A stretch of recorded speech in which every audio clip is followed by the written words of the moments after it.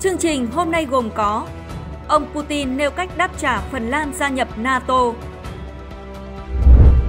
Cuộc tấn công bất ngờ của lực lượng chống Putin vào Nga. Ukraine phát hiện thiết bị nghe lén trong văn phòng tướng Zaluzhny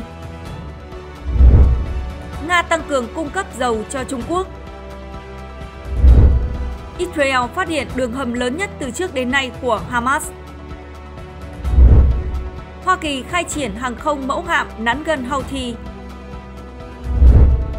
Chìm tàu ở ngoài khơi Libya, 61 người thiệt mạng. Tàu ngầm hạt nhân Mỹ đến Hàn Quốc, Triều Tiên cảnh báo đanh thép. Tất cả đều có trong bản tin ngày hôm nay.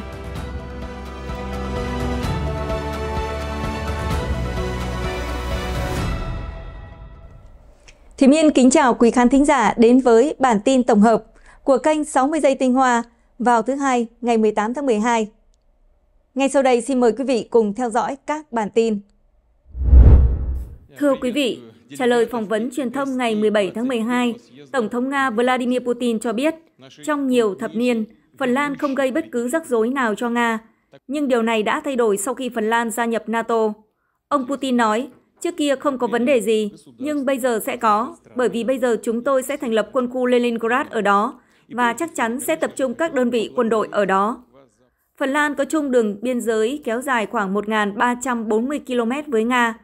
Căng thẳng giữa hai nước láng giềng leo thang hồi tháng 4 khi Phần Lan trở thành thành viên thứ 31 của Liên minh NATO, chấm dứt hàng chục năm duy trì chính sách không liên kết quân sự. Phần Lan cũng bắt đầu xây dựng hàng rào biên giới với Nga. Gần đây, Phần Lan thông báo đóng cửa hoàn toàn biên giới với Nga sau khi cáo buộc Moscow đứng sau các cuộc tấn công hỗn hợp nhằm vào Helsinki như tạo điều kiện cho làn sóng nhập cư bất hợp pháp vào Phần Lan. Tuần trước, Phần Lan đã công bố kế hoạch ký kết thỏa thuận hợp tác quốc phòng với Mỹ, cho phép Washington đồn trú binh sĩ và dự trữ vũ khí, đạn dược ở Phần Lan. Bộ Ngoại giao Phần Lan cho hay, nước này sẽ mở 15 khu vực trên toàn quốc cho phép quân đội Mỹ tiếp cận và sử dụng.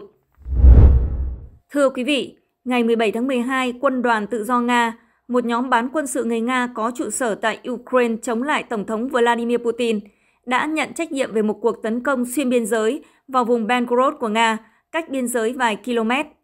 Nhóm này được coi là nhóm khủng bố ở Nga, cho biết họ đã phá hủy một trạm cứ điểm của quân đội Nga gần làng Terebreno và không nêu rõ liệu họ có phá hủy cơ sở hạ tầng hay sát hại binh lính hay không. Nhóm này được thành lập vào mùa xuân năm 2022 để chống lại lực lượng của Tổng thống Putin trong hàng ngũ lực lượng vũ trang Ukraine.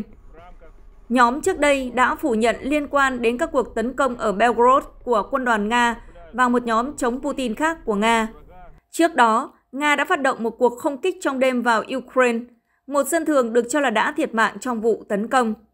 Hệ thống phòng không của Ukraine được cho là đã phá hủy hỏa tiễn đạn đạo Iskander và 20 UV tấn công. Trong đó, lực lượng không quân báo cáo hỏa tiễn Iskander không đạt được mục tiêu dự kiến. Thưa quý vị, Cơ quan an ninh Ukraine hôm 17 tháng 12 cho biết họ đã mở một cuộc điều tra hình sự theo luật thu thập thông tin sau khi một thiết bị nghe lén được tìm thấy trong một văn phòng có thể được Tổng tư lệnh Valery Zaluzhny sử dụng trong tương lai. Cơ quan an ninh Ukraine thông báo, theo dữ liệu sơ bộ, nó ở trạng thái không hoạt động, không tìm thấy thiết bị lưu trữ dữ liệu hay phương tiện truyền âm thanh từ xa nào. Thiết bị kỹ thuật này sẽ được gửi đi kiểm tra. Chúng tôi nhấn mạnh rằng thiết bị này không được tìm thấy ngay tại văn phòng của ông Valery Zaluzny, mà ở một trong những cơ sở có thể được ông ấy sử dụng để làm việc trong tương lai. Truyền thông Ukraine và nước ngoài gần đây đưa tin về tình hình căng thẳng ngày càng gia tăng giữa Zaluzny, Tổng thống yêu trưởng quân đội Ukraine và Tổng thống Volodymyr Zelensky. Trong cuộc phỏng vấn mới đây, tướng Zaluzny cho biết ông không đồng ý với quan điểm của Tổng thống Zelensky về việc tiến hành cuộc chiến kéo dài 21 tháng chống lại Nga. Cuộc chiến đang bước vào giai đoạn tiêu hao có thể mang lại lợi ích cho Moscow và cần thiết để xây dựng lại sức mạnh quân sự của mình. Tuyên bố từ tướng Zaluzhny đã vấp phải phản ứng quyết liệt từ giới lãnh đạo chính trị Ukraine. Tổng thống Zelensky sau đó nhấn mạnh cuộc phản công chưa bế tắc và kêu gọi đồng lòng giải quyết khó khăn, hành động ngay thay vì suy diễn về tương lai. Thưa quý vị, Mới đây, công ty phân tích năng lượng Kipler cho biết, xuất khẩu dầu loại Espo của Nga từ cảng Viễn Đông đạt mức cao nhất mọi thời đại, lên tới 925.000 thùng trên ngày trong tháng 12 năm 2023. Trong đó, 85% số thùng dầu được vận chuyển đến Trung Quốc. Các chuyên gia trong ngành cho rằng xu hướng gia tăng xuất khẩu loại dầu thô này là do nguồn cung vận chuyển bằng đường sắt tăng. Từ năm 2022, Nga đa dạng hóa nguồn cung năng lượng để đáp trả các lệnh trừng phạt của phương Tây sau khi Liên minh châu Âu áp lệnh cấm các tàu chở dầu của nước này đi qua hành lang biển của khối. Các công ty dầu mỏ của Nga sau đó đã định lại tuyến nguồn cung cấp dầu thô sang châu Á và nối lại việc vận chuyển dầu bằng đường sắt, vốn ít được sử dụng trong những năm gần đây vì chi phí cao. Nikolai Torakev, người đứng đầu Transneft, công ty vận tải đường ống dẫn dầu thuộc sở hữu nhà nước của Nga, cho biết hồi đầu năm 2023, chúng tôi đang chuẩn bị khôi phục hoạt động sản xuất dầu thô Expo bằng đường sắt. Trước đây chỉ có khoảng 15 triệu tấn dầu được vận chuyển bằng con đường này. Theo tờ Commerson, các nhà xuất khẩu dầu của Nga đã được hưởng lợi từ việc sản lượng dầu Expo xuất khẩu tăng. Ngoài ra, dầu Expo còn đem lại lợi nhuận cao hơn các loại dầu khác do tuyến đường vận chuyển tới Trung Quốc tương đối ngắn. Ngay sau đây, xin mời quý vị cùng theo dõi các bản tin khác từ biên tập viên Việt Anh của chúng tôi. Thưa quý vị, ngày 17 tháng 12, lực lượng phòng vệ Israel IDF đã tiết lộ đường hầm tấn công lớn nhất từ trước đến nay của Hamas được phát hiện ở phía bắc giải Gaza, gần cửa khẩu biên giới Erez với Israel.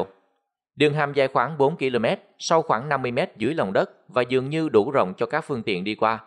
Theo IDF, đường hầm này có một số nhánh và giao lộ, kèm theo hệ thống ống nước, điện và đường dây liên lạc. Ở một số khu vực của đường hầm, quân đội đã phát hiện cửa nổ, được IDF cho biết để ngăn chặn binh sĩ Israel tiến vào. Họ cho biết đường hầm cho phép các phương tiện di chuyển qua lại và nhiều vũ khí của Hamas đã được tìm thấy bên trong.